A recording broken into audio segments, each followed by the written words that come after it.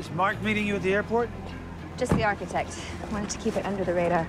You know, you really don't have to go to Santa Clara if you don't want to. That's kind of the whole point of having people. Yeah, but if we're building a school to coax some goodwill, I think it's probably a good idea for one of us to actually be involved. It's the least we can do. We did take their prize statue. Well, you know I'd come up with you if I could. No. Today's Sunny Binghamton takes precedence.